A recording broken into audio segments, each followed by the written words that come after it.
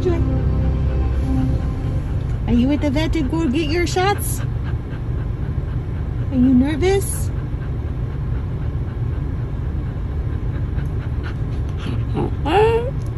Mm-hmm.